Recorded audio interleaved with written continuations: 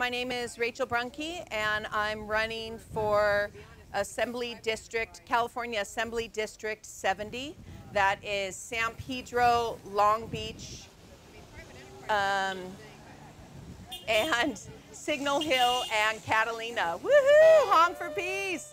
We are out here on the corner of 6th and uh, Harbor Boulevard on Memorial Day, Monday, May 28th, 2018 and I was uh, organized this event because I realized that we cannot continue to have nonstop military promotion, nonstop military um, presence without a pushback from we the people. So I'm running for state assembly because I'm realizing that the people in power do not have the answers. And over half of the people do not vote in this country who are eligible to vote.